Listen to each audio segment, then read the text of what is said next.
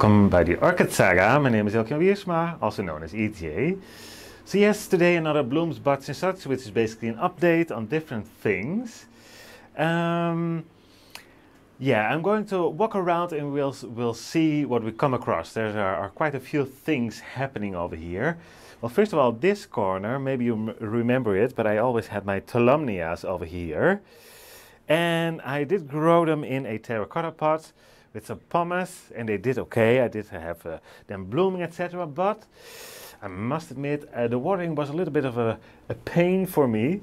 So I uh, decided to change it. And first of all, I did change the location, as you can see.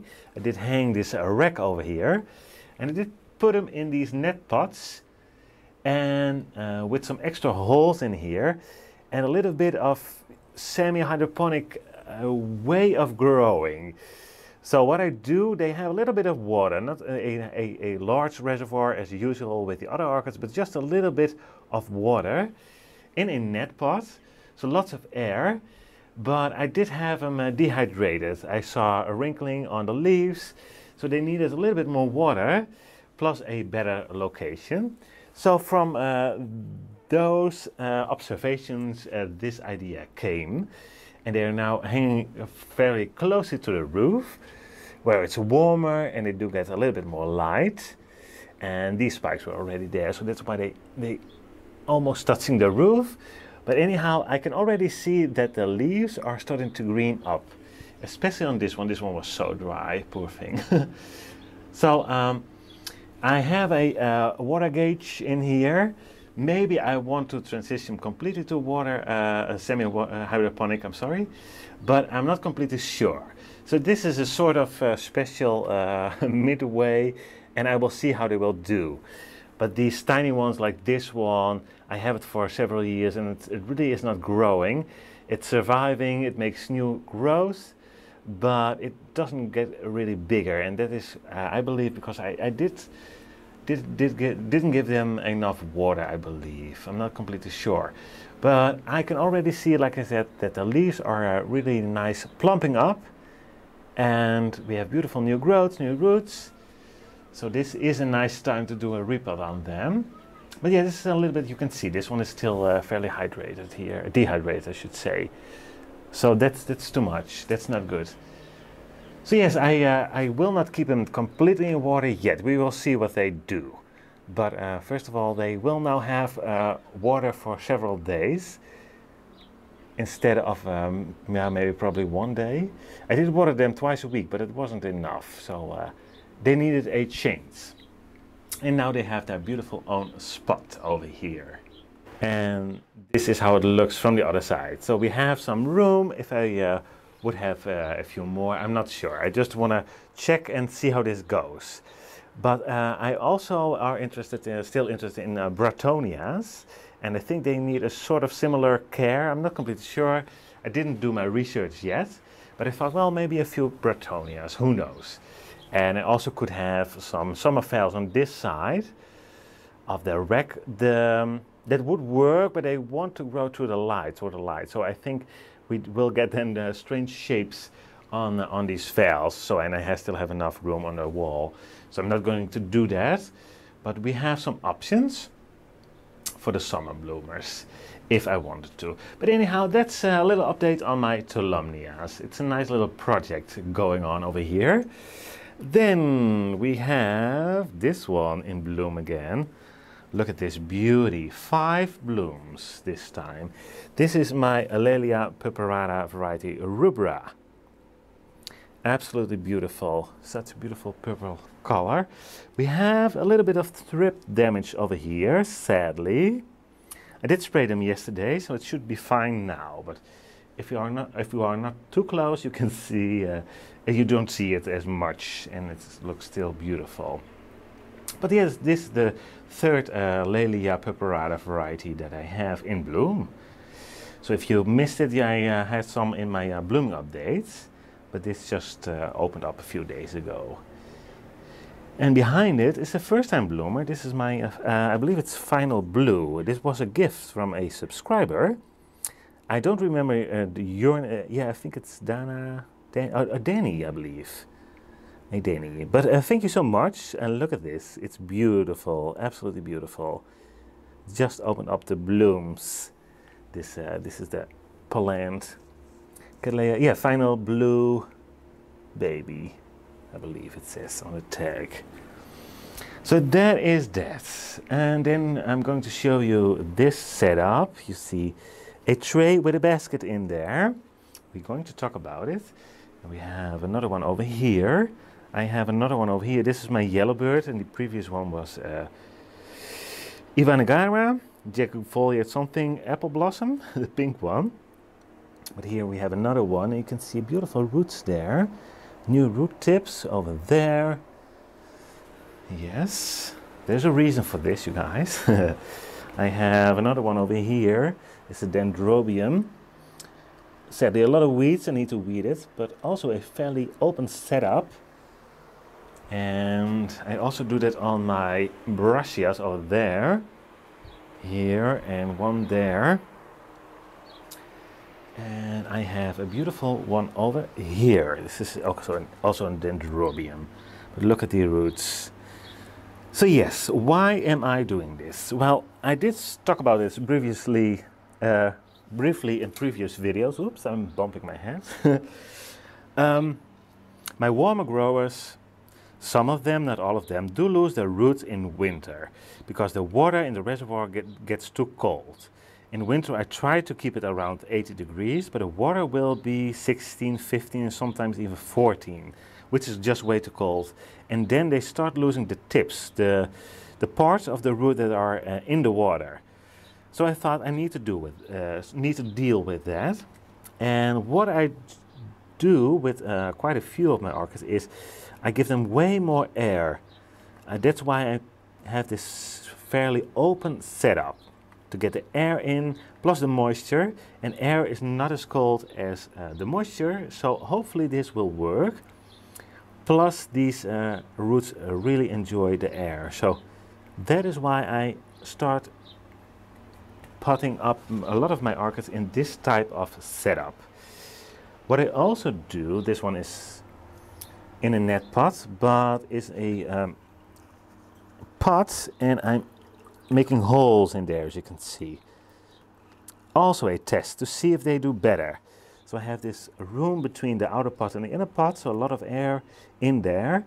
And hopefully it will help to keep those roots happy.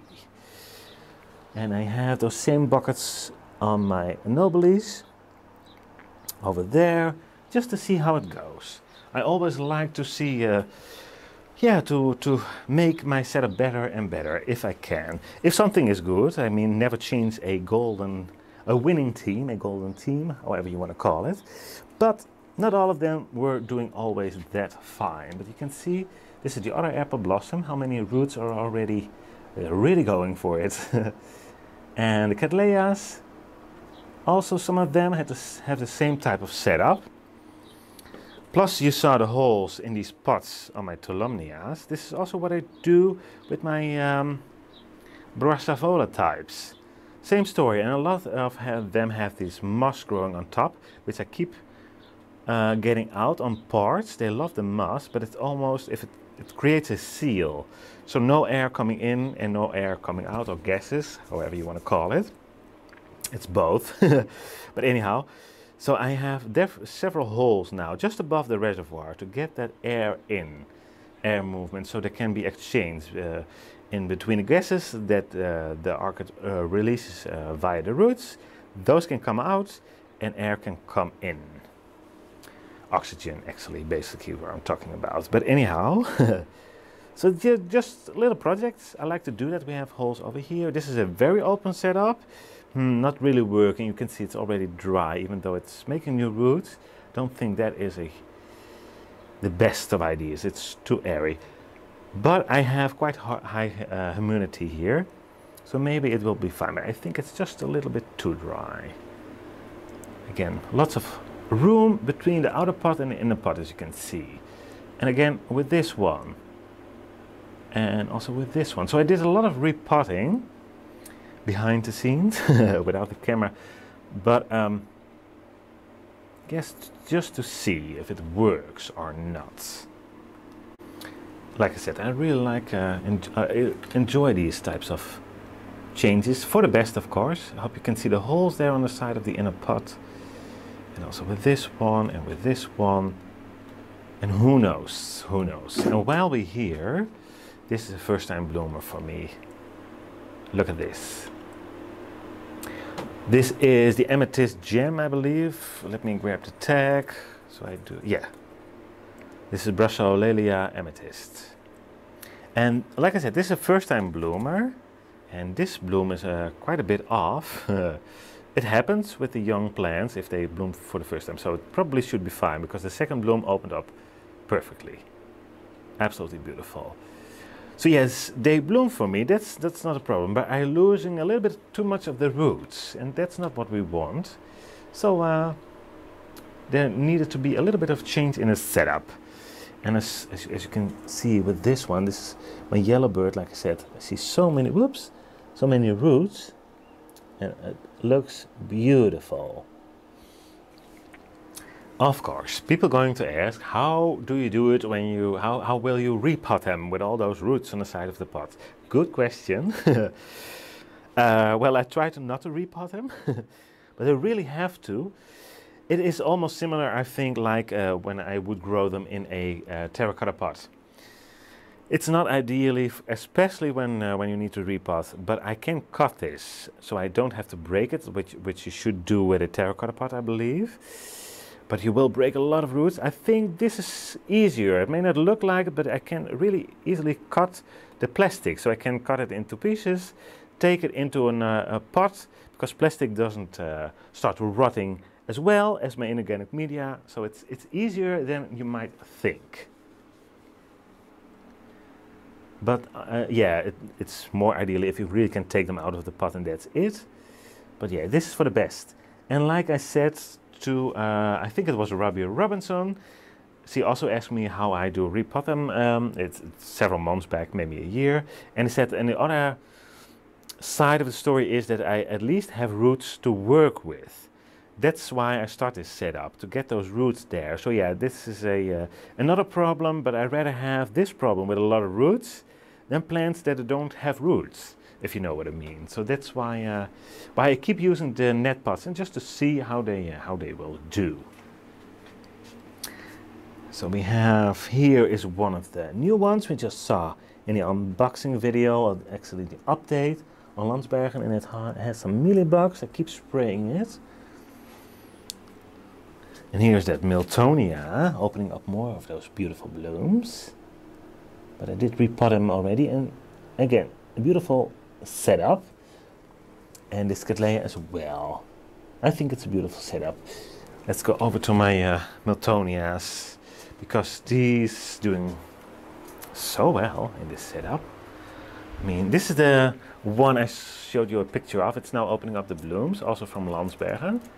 Look at that. This this is my most favorite. I love that red color in there. But also a sunset sunset cross, Miltonia sunset, I believe. Anyhow, net pot, and look at this. Look at all these roots coming out. And this one, um, I hope you can see it over here. It was in a small net pot. I just put it in a bigger pot, put some pumice around it, some pebbles on top, and that was it. And look at that. It really loves it. We have roots everywhere. Absolutely beautiful. So this one was the biggest inspiration to doing this. It, it just took off. So uh, these are just repotted in there. So don't don't have much roots there, but yeah, this is already going over the edge because it's more growing more sideways. But anyhow, a lot of roots there. Roots going down into the reservoir, some area roots. This one not yet. This is my festiva, it's just done blooming. So yeah, that is about the net pots. I thought I needed to do an update on this because it uh, can be a, quite a huge impact on my uh, growing, a way of growing for the more warmer growers. Hibiki making a show and making keikis. Absolutely beautiful. And here is a Cymbidium same story. I'm trying the same setup. Even though these are more classed as terrestrial growers, I still, because of the setup with a lot of moisture, I would like to try and see how those take a more open setup in this case, like this smaller one. You can see there, the outer pot and the inner pot, there's quite some room in between. Yeah, just just seeing how they will uh, will take it. and while we're here, why not just do a quick update on the Adendas? They are really going strongly and well. Look at this, beautiful roots, still growing in a new setup, doing wonderfully well. And uh, look at that beautiful strong spike over there. Loads of cake, yes, this one. Beautiful new roots. Area roots, more area roots, that's okay. We have some roots in there. And also a new root here. This is the gift from Inse. Look at this beautiful piece of art, right? These, these roots. Working on this beautiful strong spike over here. Absolutely beautiful. And we have a smaller one over here. And down here, these guys still working on the roots. Down in there. And my Renantheras. Finally! New roots on the way. oh, it's more than a year. It took more than a year to uh, let them create roots again. This is still an old root, but there, just above my finger, you see an old spike, but you also see a new root just coming out. Once again, finally these two guys. So they love the setup, I can say now. absolutely love it. So and they are so strong, really picking up again. Maybe a little bit on the dark side color-wise, the green, I'm not completely sure. But they look mm, way healthier than before, so that, that's okay. Maybe, maybe they will skip blooming, I'm not sure. We shall see what they will do. And I got the sedum types. Oh, look at these new growths. This is the Vanda, but look in back in here. Very strong new growth on this one. Also on this one. And back in there more new growth and that one in the back has two new growths. I hope you can see it. Let me put the camera over here. yeah, there you can see them. That's my uh, flat Fred Clark, the black one. That one decided to make two new growths this year. And those are uh, absolutely welcome. and again, quite an open setup. I did repot them, just took them out of the pot and put them in a bigger pot. I had uh, quite some older roots on these guys and there were new growths starting from the older roots. So I don't keep, I don't uh, take the old roots off if I don't have to. And a beautiful green, they are so healthy. And this year I believe they are even stronger than the years before. So so, so far uh, we're doing uh, very fine with these guys. Absolutely beautiful. They get a lot of light in that corner and as you can see, they're really growing towards the light. Big pockets. And yes, I have a video on them. I keep uh, watering them. Yeah, I don't let them dry up at all. Never ever. And they seem to like it. And this file just opened up. I think this is our authentic pink. Just a commercial name. I broke off a piece of the spike sadly while watering, but nonetheless it's so beautiful. So there's over here, let's go inside of the orchid room because we still have these beauties in bloom and we have a few more over here. So here we go. Miltoniopsis. Absolutely beautiful. Princess Diana over here. A few more blooms here. And this is also quite a beauty. This is this one. That is over here, and this is also opened up fairly new. Look at the details. Breathless Brilliant. Miltoniopsis Breathless Brilliant. Sadly, the the plant itself is not that strong and I have this one for years and it never did better than this so I'm not completely sure maybe maybe it's sick or so I'm not completely sure. Because this one, the huge one, is younger than the one we just saw, believe it or not. So yeah, this one is uh, doing so much better. It's just so much stronger. And this beautiful, almost lilac one. Beautiful.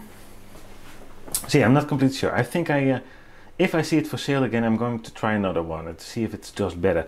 This one loses roots. It does bloom, but it's just hanging in there, and that's that's all it does. So the rest, even though this is I sprayed this, it probably has some water left, but you can see the bulb is so much stronger, so much better than this one. So yeah, I think this one is just not as strong. It has a beautiful spike, two, four, six, seven blooms. For Miltoniopsis, that's quite nice. Mo normally I have four, five, sometimes six blooms, but this has uh, seven. So yeah, not sure. And this one opened up also during the last couple of days. Beautiful. This is the Memoria Donald Yamada. Donald Yamada, yes. That's the big Miltoniopsis, the newest one. Already also in a net pot with a nice tray. Just to see how that one will do. And then we have this one. This is the most favorite one, if you ask me. But look, just some new blooms, freshly opened up. Stunning, if you ask me. Stunning. oh, what a details. What a details. Um, tag.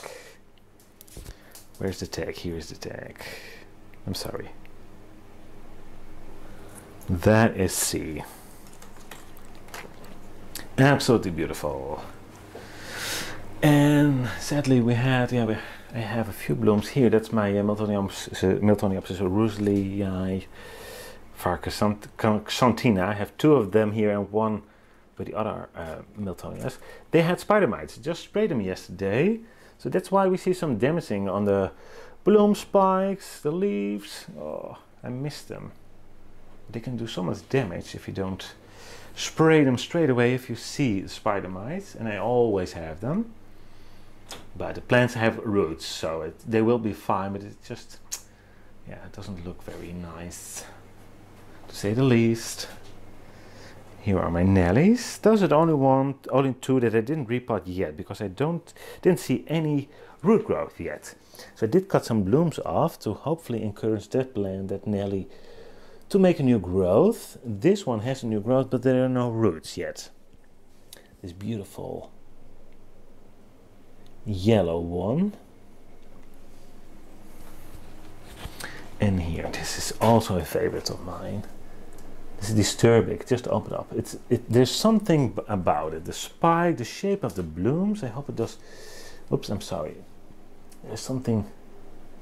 I love it. Absolutely love it. Look at that. So beautiful. And then above this uh, Sturbeck we have this purple one. Did show it in my last update, but there are more blooms. And there, there is a hint of anise in this fragrance of this one, which is beautiful. I, I'm really smelling it now. It's absolutely beautiful. I love it. And for those who want a name, let's zoom in. Here is the name of this one. But it, yeah, it's beautiful, absolutely beautiful. Very, very nice. And while we're here, the jewel orchids doing fine. Big bushes again. So last year I did an update on them. I did a video about them. They weren't looking as good, but I think I found a better spot for them. The foliage is now way better than it ever was before. So no direct daylight or sunlight whatsoever. So I have them under the need those lights and that's it. I hardly fertilize them, just give them all water and here and there maybe once every two, maybe three months, just a teeny tiny bit of fertilizer and that's it. And they seem to like it. They seem to like it. So that's it, it for you. No, that's not it. I'm sorry. I wanted to show you this. Whoops. Uh, as well. This is finally starting to grow. This is my Dendrochilum magnum. Look at the new growths. One, two, three, and there is number four. I think we have four this time. So from three growing directions, we will now go over to four. That's beautiful. This just sits there for months. It has a, a pot full of roots. It likes to drink quite a lot. Even when nothing really is happening, it still drinks, but as soon as it starts to grow, it drinks even more. but it can sit there for months, and I was like, mm, I don't know, what are you doing? Are you, are you still here? Are you, do you still want to grow or what? And then suddenly it starts to grow and it really takes off. Funny how orchids are all different. Of course, if you have the same orchid, it's probably maybe want to behave similar, but uh, the, the different types of orchids, I love it. They have the all unique way of growing. And of course, even if you have the same orchid, they still are different. These Nellies are not the same, of course, but they have a general care guide to them. But like the twinkles, everything like something a little bit different. These twinkles, this one is still quite yellow, but so far my new growths, I should knock on wood, do not show the, the black spots yet, which I had before on new growth, even on new growth. So who knows, who knows, I have them a little bit closer to a LED light instead of sunlight, filtered sunlight. Hmm, maybe they do better. These are the ones that I did get from Insa. This is new growth, this new growth, and all the names, the names. now. I'm sorry, I cannot pronounce it. So Insa, I hope they will do well. Oh, this is a challenge. But uh, we have new growths, and again, air holes, net pots, water, who knows? It might work. It might work. You never know. if you don't try, of course. So this is a bit of an update, you guys, in between uh, all the other things that are going on. Uh, I hope you all do well. I'm just checking if I have more updates. Well, I have a bit of a sad update on my Zygos. it's just overall, I'm not completely happy. This this one does very well, but the spots. I know everyone everyone says that Zygos and they they have these spots and they're coming, but still there must be a way of growing them without these spots. I, I'm, I'm strong, strongly believe that. This is, this is just not good. Who knows what they will do? Who knows what they will do? But yeah, see, this one is really sick. Don't want to touch it. Did bloom well. This was the second spike. But you can see the leaves. I'm not happy with it. I will check them for spider mites, but I don't think they have them. I did spray them not that long ago. You can still see the bit of a shine there on that leaf, I think. Who knows, they may might be back, maybe that's the problem. I'm not completely sure. But we will see. So yeah, I think this is for now for me uh, the update. And um, as usual, if you have any questions, please leave them in the comment section below. Thank you so much for watching. And uh, I hope to see you at one of my next uh, videos. Bye bye.